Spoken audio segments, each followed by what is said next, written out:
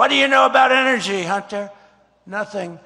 The Biden crime family took millions of dollars from a company controlled by the Chinese Communist Party, with Joe Biden personally receiving large deposits of cash. And now we have a Manchurian candidate in the Oval Office. He's a Manchurian candidate. You know the Manchurian candidate? Go check it out. Go watch the movie. It was pretty good. Not as bad as the real thing. That's one thing. The real thing is even worse. Somebody got into our heads. When they went to town, neurons got got got exposed and circuits got rewired. Manchurian candidate in the Oval Office. He's a Manchurian candidate.